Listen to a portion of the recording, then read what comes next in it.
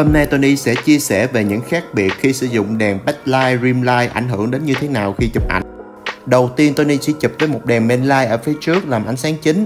Lúc này Tony chưa mở bất kỳ ánh sáng nào ở phía sau. Kết quả bạn có thể thấy ánh sáng nhìn cũng được nhưng chưa thực sự nổi bật.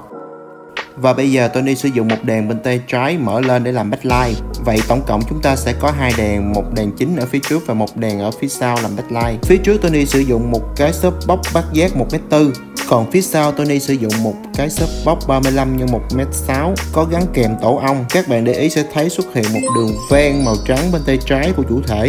Bây giờ Tony sẽ mở thêm một đèn ven nữa bên tay phải là ba đèn, bao gồm một đèn chính và hai đèn backlight. Hai đèn backlight phía sau đánh xéo trực tiếp vào trong chủ thể, tạo ra hai đường ven ở hai bên, làm cho khuôn mặt của chủ thể trở nên gọn gàng hơn và nổi bật hơn so với background.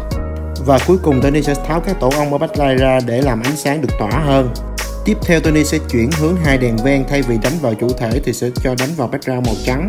Với kiểu đánh đèn này sẽ làm sáng lóa rau rất phù hợp cho các concept trong trẻo lung linh vì ánh sáng khá nịnh mắt. Tùy vào từng concept chụp ảnh, bạn sẽ có thể sử dụng đèn backlight sao cho phù hợp nhé. Và đây là kết quả khi sử dụng hai đèn backlight đánh thẳng vào trong background màu trắng.